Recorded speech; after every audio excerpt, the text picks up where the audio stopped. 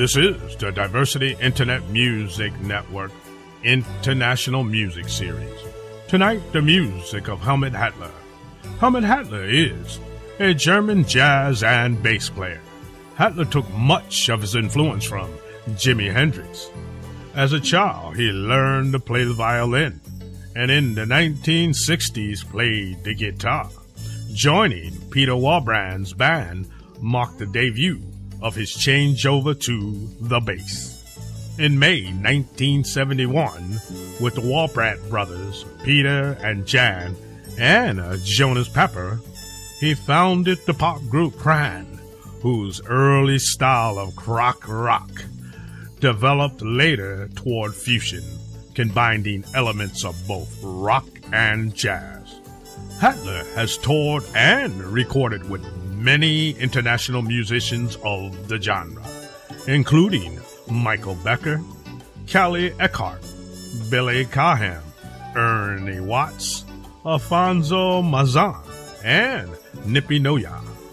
In 1971, Hattler said, We don't have any regular jobs in this society. We concentrate entirely on the music. In this situation, we try to make music that separates us from the pop cliches. We strive toward a closed musical experience that touches on all areas of our lives. We follow no one else. We make our own music. Now, the show. Hellmut Hattler, The World Jam. I am your host and DJ, B.O.B. Please Enjoy.